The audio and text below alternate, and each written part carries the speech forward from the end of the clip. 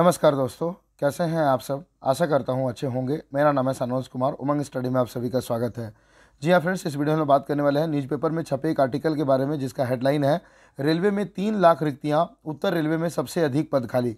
सारी जानकारी आपको डिटेल में मालूम चल जाएगी। उससे पहले यदि अभी तक आपने उमंग स्टडी यूट्यूब चैनल को सब्सक्राइब नहीं किया होगा तो सब्सक्राइब करके बेल आइकन को ज़रूर दबा दीजिएगा रेलवे भर्ती की हर पल की अपडेट के लिए। वीडियो को स्टार्ट करने से पहले आप सभी के लिए एक इंपॉर्टेंट इन्फॉर्मेशन है फ्रेंड ओली बोर्ड की तरफ़ से आप सभी स्टूडेंट्स के लिए all India live mock test लाया गया, वो भी बिल्कुल फ्री है।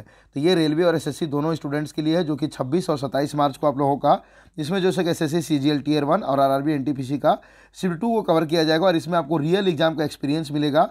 साथ ही आप लोग अपने परफॉर्मेंस को भी एनालाइज कर पाएँगे। और ये जैसे कि आप लोग का हिंदी और इंग्लिश दोनों में होगा तो वीडियो के डिस्क्रिप्शन में साथ ही कमेंट सेक्शन में आपको एक लिंक मिलेगा। उस लिंक पर क्लिक करके आप आसानी से टेस्ट को अटैम्प्ट कर सकते हैं।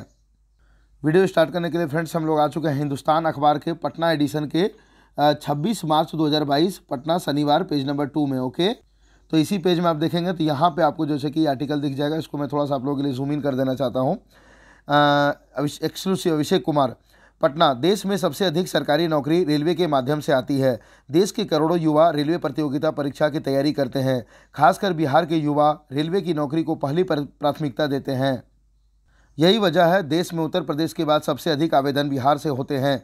इस बार एनटीपीसी व ग्रुप डी की परीक्षा में सबसे अधिक आवेदन बिहार के छात्रों का था। यहीं के छात्रों ने रेलवे में परीक्षा में हुई गड़बड़ी पर सबसे पहले आवाज़ उठाई थी। वर्तमान में देश में रेलवे के अलग अलग जोन को मिलाकर तीन लाख से अधिक पद रिक्त हैं। सबसे अधिक रिक्त पदों की संख्या उत्तर रेलवे में सैंतीस हज़ार चार सौ तैंतीस के करीब है। इसके बाद मध्य रेलवे में सत्ताईस हज़ार चार सौ बेरासी और पश्चिम रेलवे में छब्बीस हज़ार तीन सौ इक्यावन पद रिक्त हैं। वर्तमान में करीब एक लाख चालीस हज़ार सात सौ इकतीस रिक्तियों को भरा जाना है। इसमें ग्रुप डी और एनटीपीसी स्नातक के माध्यम से एक लाख उनचालीस हज़ार पद भरे जाएँगे। राज्यसभा सांसद सुशील मोदी ने रेल मंत्रालय से पाँच बिंदुओं पर जानकारियाँ मांगी थी। इनमें रेलवे की प्रत्येक श्रेणी के कुल स्वीकृत पद जोनवार रिक्तियों की संख्या, पिछले तीन वर्षों में रेलवे की ओर से की गई भर्तियाँ, तीन वर्षों में सेवानिवृत्त कर्मियों की संख्या और एक साल में कितने कर्मी सेवानिवृत्त होंगे इसकी जानकारी मांगी गई थी। इन सभी बिंदुओं पर रेल मंत्रालय की ओर से जवाब दिया गया है। ये आपके सामने कोटिवार रिक्तियों की बात करते हैं फ्रेंड। तो यहाँ पे जैसे कि आपके जोन्स का नाम है कि कौन कौन सा जोन्स में कितना आपका गजेटेड पोस्ट है, यानी कि राजपत्रित है, और ये आपका अराज, अराजपत्रित यानी कि नॉन गजेटेड है। यहाँ पे कुल की बात करें तो यहाँ पे देख सकते हैं आपका गजेटेड है, पच्चीस और नॉन गजेटेड की बात करते हैं तो तीन लाख चौदह, तीन लाख एक हज़ार चार सौ तेरह है। नोट, एक फरवरी 2022 को राजपत्रित एवं अराजपत्रित कोटियों में स्वीकृत पदों का विवरण है। ओके?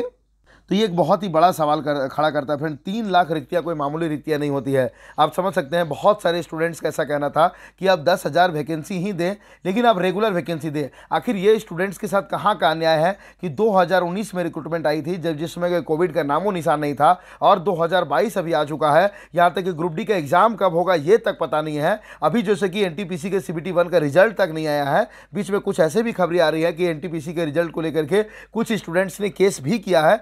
इसके ऊपर भी अपडेटेड वीडियो उमंग स्टडी की तरफ़ से बहुत जल्द आपको प्रोवाइड करवाया जाएगा। यहाँ पर यदि हम लोग एक नज़र डालते हैं तो वर्तमान में आरआरबी के माध्यम से एक लाख चालीस हज़ार सात सौ इकतीस रिक्तियाँ तीन केंद्रीकृत रोज़गार सूचना अधिसूचना के माध्यम से भरी जानी है। गैर तकनीकी लोकप्रिय कोटि एन टी पी सी पैंतीस हज़ार दो सौ इक्यासी परीक्षा की प्रक्रिया जारी है। आरआरबी ग्रेड ग्रेड डी के माध्यम से एक लाख तीन हज़ार सात सौ उनहत्तर पदों के लिए परीक्षा होनी है। पृथक तथा अनु सचिवीय कोटिया में सोलह पदों पर नियुक्ति प्रक्रिया अधीन यानी कि यहाँ पे R R B N T P C R R group D और आपका एम आई कैटेगरी यानी कि मिनिस्टरियल एंड एसोलेटेड कैटेगरी की बात की जा रही है। यहाँ पे इधर हम लोग कार्यबल की बात करते हैं तो राजपत्रित आपका है सत्रह और अराजपत्रित है आप लोगों का चौदह लाख अट्ठासी हज़ार चार सौ पाँच, यानी कि टोटल पंद्रह लाख छः हज़ार दो सौ निन्यानवे। उसी तरह से पैनल वर्द भर्ती की बात करते हैं ईयर वाइज में तो 2019 में आपका सोलह हज़ार आठ सौ इक्यावन, दो में आप लोगों का एक लाख छब्बीस हज़ार सात सौ पैंसठ। दो हज़ार इक्कीस में आप लोगों का चार हज़ार पाँच सौ चौंतीस।